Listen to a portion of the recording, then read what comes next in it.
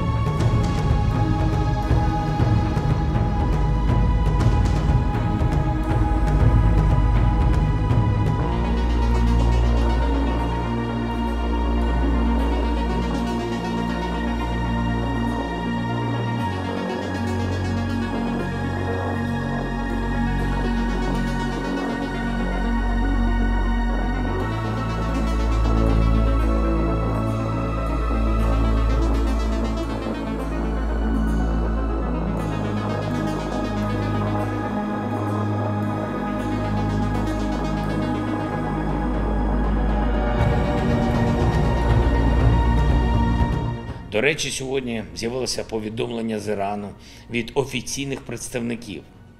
Там вирішили визнати, що таки постачали дрони для російського терору. Але і в цьому визнанні вони збрехали. Ми щодобово збиваємо іранські дрони мінімум по 10 штук. А іранський режим стверджує, що нібито дав небагато і ще до початку повномасштабного вторгнення. Тільки протягом одного вчорашнього дня було знищено 11 шахедів. Ми точно знаємо, що іранські інструктори вчили російських терористів користуватися дронами, а в Тегерані про це взагалі мовчать.